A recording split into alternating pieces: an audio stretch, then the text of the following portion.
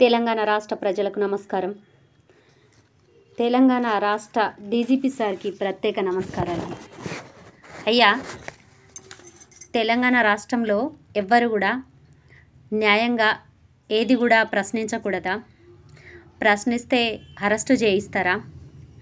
అయ్యా DGP sir మీరు ఖచ్చితంగా మాకు సమాధానం చెప్పే తీరాలి.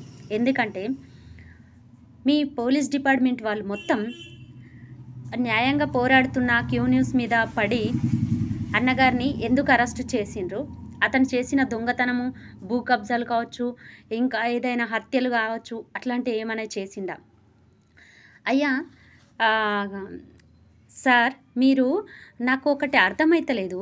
మీరు ఎంత ఇంట్రెస్ట్ చూపుతుండ్రంటే పోలీస్ డిపార్ట్మెంట్ వాళ్ళు నాకు అర్థం కాని పరిస్థితి ఏంటంటే తెలంగాణ రాష్ట్రంలో మీరు ఇంత ఇంట్రెస్ట్ చూపించి ఏదైనా తప్పు చేసిన వాళ్ళ మీద ఇంత నిజంగా అంటే అప్పుడే స్పందించి వాళ్ళను అరెస్టు చేయడం వాళ్ళను ఖచ్చితంగా కఠినంగా శిక్షించడం చేస్తే తెలంగాణ రాష్ట్రంలో ఇలాంటి సమస్యలు ఉండవు సార్.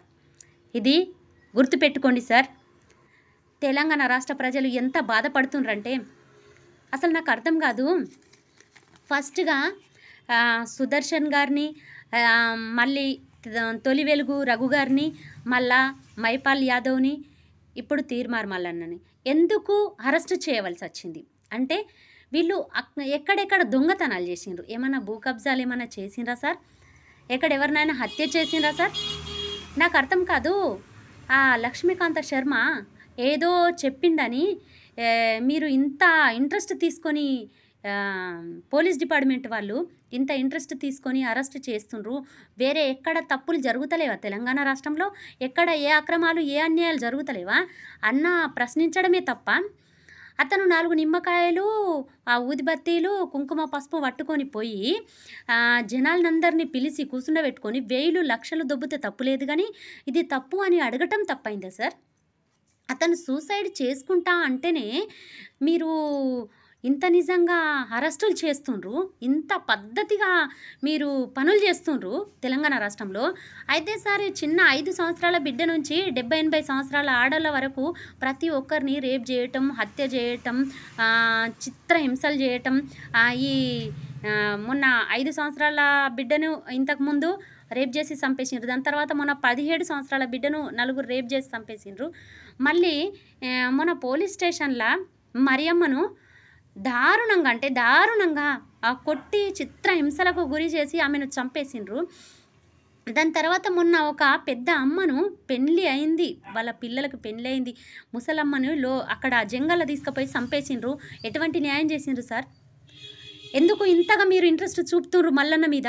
మల్లన్నను జైల్లో పెట్టాలని ఎందుకు ఇంత ఇంట్రెస్ట్ పోలీస్ డిపార్ట్మెంట్ వాళ్ళు చూపుతుండ్రు? మాకు సమాధానం చెప్పాలి సార్. అయ్యా మీకంటే జాబ్లు ఉన్నాయి మీరు సుఖంగా మీ ఫ్యామిలీస్తో సుఖంగా ఉంటారు. మరి మాకేమున్నాయి అయ్యా పేదల పట్ల అంటే ప్రశ్నించడం తప్ప వీళ్ళందరిని ఎందుకు మీరు అరెస్ట్ చేస్తున్నారు నాకు అర్థం కాదు. ఇప్పుడు కేసీఆర్ సారు ఫామ్ హౌస్లో సుఖంగా ఉంటాడు. మీరు మీకు జీతాలు వస్తాయి మీరు మీ కుటుంబాలతో సుఖంగా ఉంటారు. అంటే మాకు హామీలు ఇచ్చి పూర్తి చేయట్లేదు అని అడగటం మా తప్ప అయ్యా. కేసీఆర్ సారు పాలన ఎట్లా ఉంది తెలంగాణ రాష్ట్రంలో అంటే పులి కన్నప్పుడు అది కళ్ళు మూసుకొని కళ్ళు తెరవది కళ్ళు మూసుకొని పులి బిడ్డలను పులే తినేస్తుందట.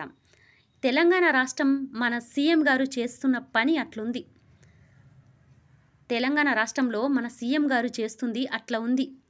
పులి బిడ్డలను పులే తినేస్తున్నట్టు. అంటే ఇప్పుడు కేటీఆర్ సారు కవితక్కనే కాకుండా తెలంగాణ రాష్ట్రంలో ప్రతి బిడ్డలు కూడా తన బిడ్డలు తన బిడ్డలుగా చూస్తే ఇంత చిత్రహింసలకు జనాన్ని గురి చేయడు. పేద పరిస్థితి అంటే పేద పిల్లల పేద బిడ్డల పరిస్థితి ఎంత దారుణంగా ఉందంటే ఘోరంగా ఉంది. అసలు ఆలోచించకుండా ఎందుకు ఇంత అన్యాయాలకు అక్రమాలకు పాల్పడుతుండ్రో నాకైతే అర్థం కావట్లేదు కానీ తెలంగాణ రాష్ట్రం ఎంత ఘోర పరిస్థితిలో ఉంది.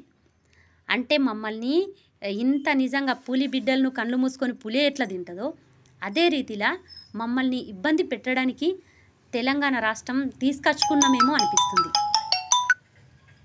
దయచేసి ఆలోచించాలి. డీజీపీ సార్ గారు దయచేసి అన్నను విడుదల చేయించాలి. అన్న పట్ల ఎలాంటి తప్పు లేదు. ముఖ్యంగా న్యాయస్థానాన్ని కోరుకుంటుంది నేను ఏంటంటే పెద్ద మనసుతోటి అన్నగారిని విడుదల చేయాలి. ఎందుకంటే పేదల పట్ల పోరాడమే తప్ప అన్నయ్య చేసే తప్పు ఎక్కడా లేదు. దయచేసి పెద్ద మనసుతోని న్యాయస్థానాలు ఆలోచించి అన్నయ్య గారిని విడుదల చేయాలి. డీజీపీ సార్ మీరు మంచి మనసుతోని ఒకసారి ఆలోచించండి. మీరు అంటే మీకంటే జీతాలు వస్తాయి మీరు సుఖంగా ఉన్నారు మా పేదల అంటే మూడు పూటల అన్నం కోసం ఎంత అలమటిస్తున్నారో జనాలు అది అనుభవిస్తున్న మాకు మాత్రమే తెలుసు అన్న. దయచేసి సార్ మీరు ఆలోచించండి. అన్నగారు చేసిన తప్పు కాదు. ఎక్కడ ఏ తప్పులు లేవు. సుదర్శన్ గారు కావచ్చు తొలి వెలుగు రఘు కావచ్చు మైపాల్ యాదవ్ కావచ్చు వీళ్ళు చేసిన తప్పులు ఎక్కడ లేవు. కేవలం ప్రశ్నించటమే వాళ్ళ తప్పు అని అనుకుంటే ప్రశ్న అంటే తెలంగాణ రాష్ట్రంలో ఎవ్వరు ప్రశ్నించకూడదు. అతను అధికారంలో ఉన్నాడు కాబట్టి కేసీఆర్ వట్టి మాటలే చెప్తాడు. ఏ హామీలు కూడా పూర్తి చేయడు అని చెప్పించండి సార్. మేము సైలెంట్గా ఉంటాం. దయచేసి మీరు ఆలోచించి ఖచ్చితంగా మీరు అన్నను విడుదల చేయాలి లేదు అంటే పెద్ద ఎత్తున నిరసనలు ధర్నాలు చేపడతాం.